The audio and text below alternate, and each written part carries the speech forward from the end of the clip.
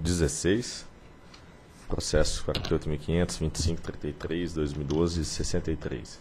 Recurso administrativo interposto pela CELG Distribuição SA, em face do AI 112-2012 SFE, que trata da verificação dos requisitos técnicos mínimos para conexão de cargas à rede básica e aos barramentos de transformadores de potência, no que se refere ao fator de potência das instalações de distribuição dos pontos de conexão. Diretor relator, doutor André Peptoni. Mediante o auto de infração número 112, lavado em 5 de julho de 2012, a SFE aplicou à CELG multa de R$ 1.257.105. A penalidade foi aplicada em razão das, da constatação de infração relacionada à não manutenção de fator de potência adequado nos pontos de conexão à rede básica, sendo-lhe então imputada a seguinte não conformidade.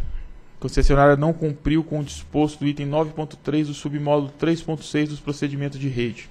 Inconformada, a CELG protocolou recurso administrativo contra o auto de infração, o que não foi conhecido pela SFE em juízo de consideração, haja vista sua intempestividade. Em 3 de setembro de 2012 foi sorteado relator do processo e a Procuradoria-Geral do ANEL, instada a manifestar, o fez pelo parecer número 1 de 4 de janeiro de 2013, é o relatório, é o relatório Procuradoria.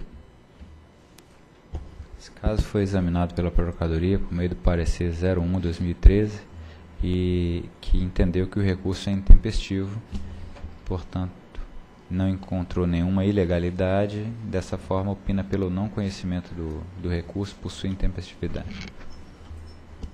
Senhores diretores, vou sintetizar aqui a fundamentação, conforme já relatado pela Procuradoria, o recurso é intempestivo, então se ele é intempestivo não é passível de ser aceito, Todavia, a relatoria pode fazer um juízo de legalidade no processo. E no caso dos autos, conforme também já constatado pela Procuradoria no parecer número 1 de 2013, não se vislumbra qualquer ofensa à legalidade.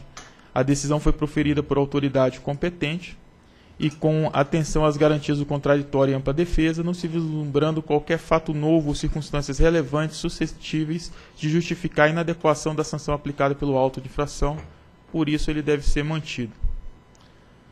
Com apoio nessa fundamentação e no que consta no processo 48.500.002533-2012, dígito 63, voto por não conhecer, haja vista sua intempestividade, do recurso administrativo interposto pela CELG, mantendo na íntegra a multa imposta pelo auto de infração número 112 de 2012, no valor de R$ 1.257.000, aproximadamente, valor esse que deverá ser recolhido em conformidade com a legislação vigente é o voto.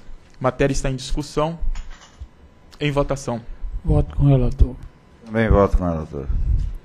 Bom, a diretoria Danel decidiu por não conhecer, haja vista sua intempestividade, o recurso administrativo interposto pela CELG, mantendo na íntegra a multa implicada, a multa imposta pelo auto de infração número 112 de 2012 da SFE, no valor de R$ 1.257.105,91, a serem recolhidos conforme a legislação vigente. Próximo item.